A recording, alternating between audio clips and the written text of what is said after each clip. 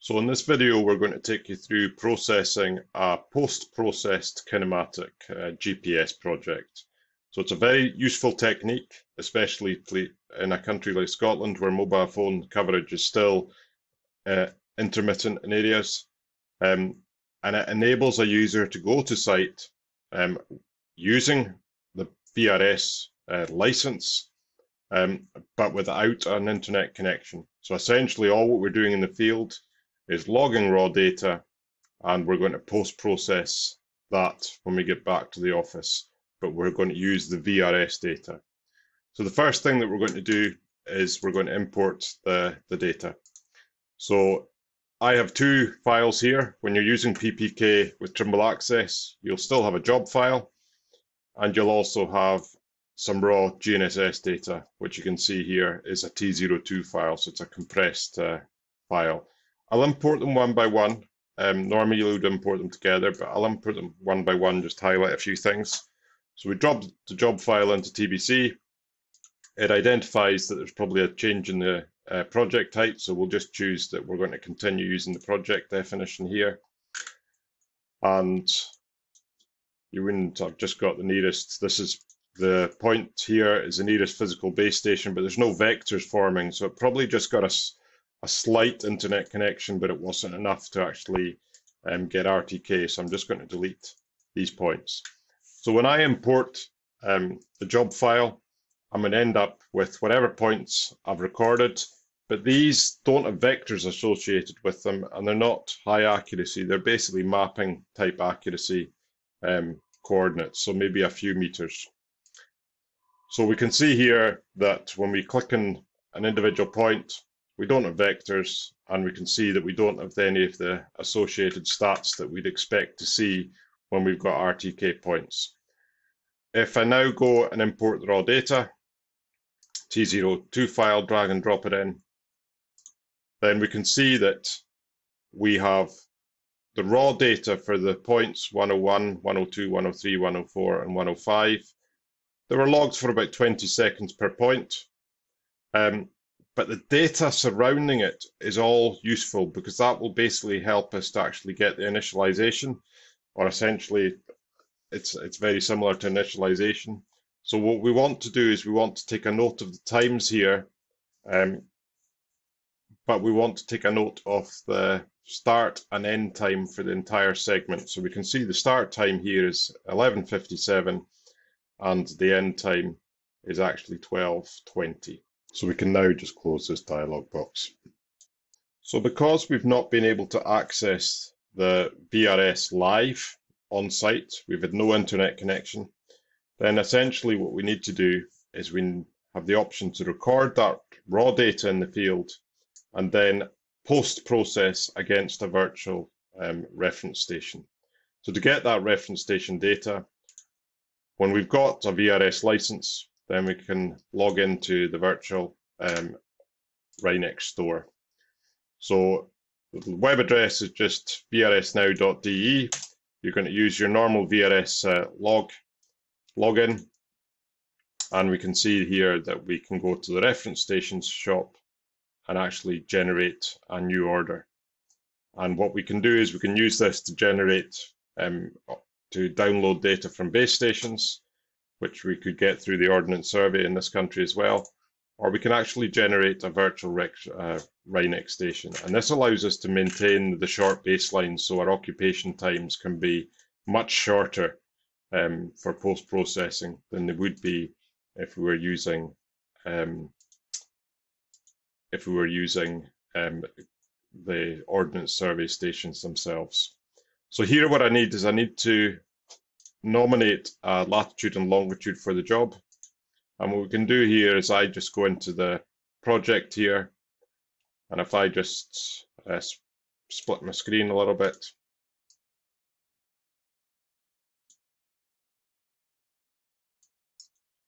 so I can see them both. And let's just pull that back a little bit.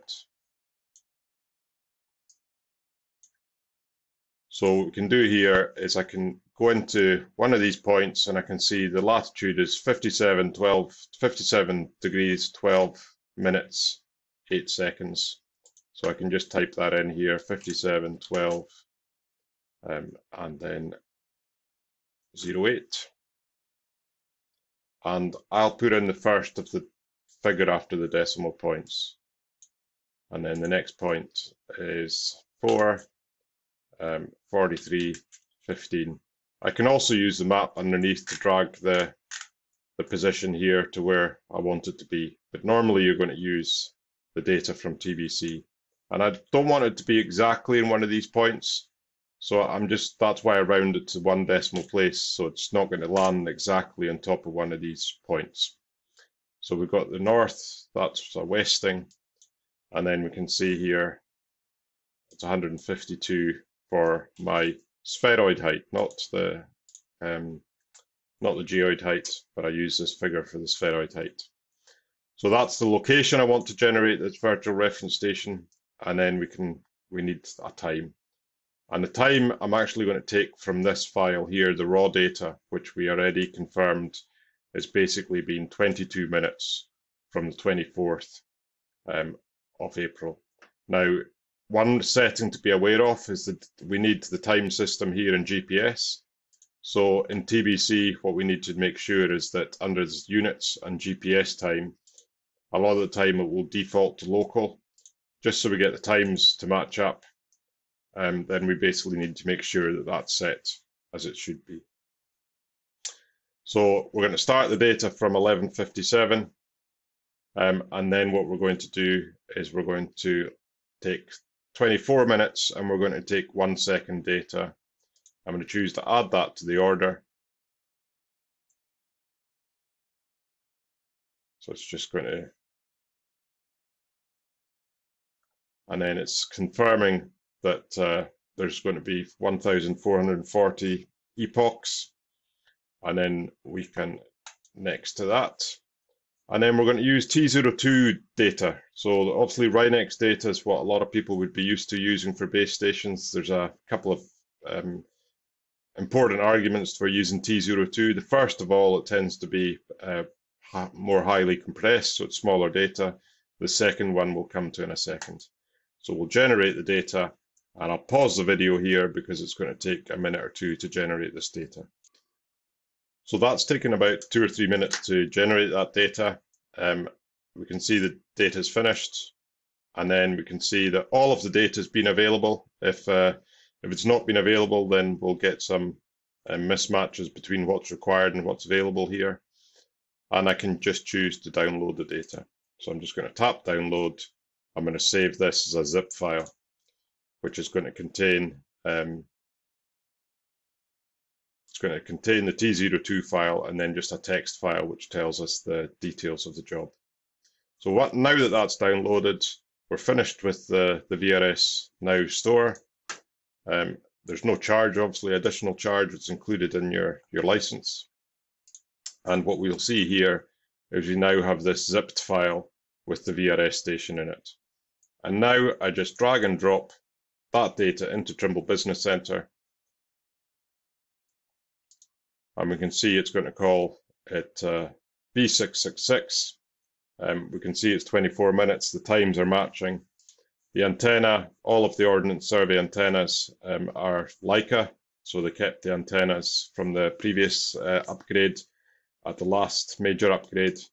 And then we can see that uh, all of, the vast majority of the base stations are now Trimble alloys. Um, that's what's been used by the Ordnance Survey. So we're obviously calculating a virtual RINEX uh, station, a virtual reference point, um, rather. Um, but the data is the data is going to simulate um, what the nearest physical reference station is. So that's going to be a Trimble alloy. I get this error just saying that it doesn't read the text file, that's fine. Uh, there's inside the zip is a T02 in the text file. So we see here that the T02 from the reference station has now been imported. What we now will automatically get is first of all, one of the second reason for using the T02 file is it automatically comes across as a as a as a um, control quality point. So it's one less thing that we need to do. So we can see that this reference station with nice round numbers comes in as a as a reference uh, station, so we don't need to fix it. And then we'll see that these baselines are available. They're now showing as baselines. So they're unprocessed baselines. So we can see how many satellites are being tracked, but they're baselines rather than vectors. So now we simply go across the survey, process baselines, and it will now process the points. And if you're sharp-eyed, you probably see the position of these points jump a little bit when we hit save. So just keep an eye out for that. And we can see here the solutions that we've achieved and they're typical sort of RTK level solutions, but we're just doing it um, afterwards. The, the field procedure we're not going to cover in this video. This is this video is covering the, the office procedure for processing the data, the, the data. So QC this, all looks fine. We hit save, watch for the points jumping a little bit. You saw the points jumping, and that's because the initial position is just a, a mapping grade type accuracy, maybe to the nearest meter or two. And now what we have is we've got vector solutions. Um, so we can see here, again, we're seeing now fixed solutions. The field method shows us stop and go, and our accuracies are visible. So that's a quick video on how to process PPK, post-process kinematic data inside TBC using uh, VRS data um, generated from the VRS Now store.